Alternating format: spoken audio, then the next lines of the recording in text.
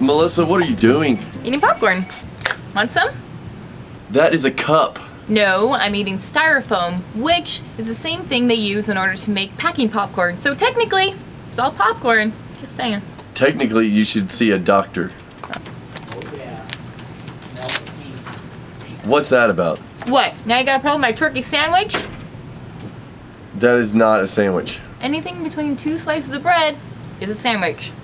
Saying. I have got to find a new place to sit. you